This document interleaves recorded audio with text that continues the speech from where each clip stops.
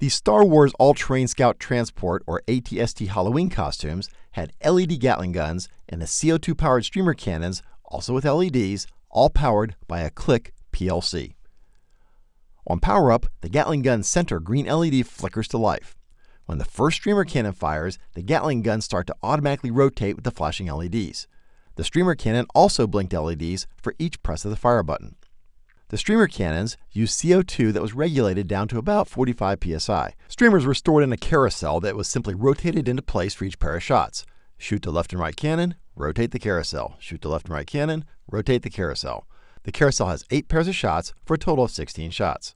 The carousel was laser cut from plexiglass with 3 4 inch PVC pressed into place. The system was powered by two 7.2 volt Hobby RC batteries in series. That 14 volts was fed into a Rhino DC to DC converter to create the 24 volts needed by the Click PLC, the Nitra pneumatics, the left and right Gatling guns, and the streamer cannon LEDs. The costume was made entirely from white coroplast. That's that plastic cardboard yard sale signs are made from. The Gatling gun supports were made from black coroplast, which was laser cut at the local high school. That was folded and then had the PVC pipes inserted. The assembly was mounted on a frisbee and then mounted to the head. The hoofs were cut out of some old latex mattress foam using a hot wire cutter, and the gears on the legs were milled out of sheets of hard pink insulation foam.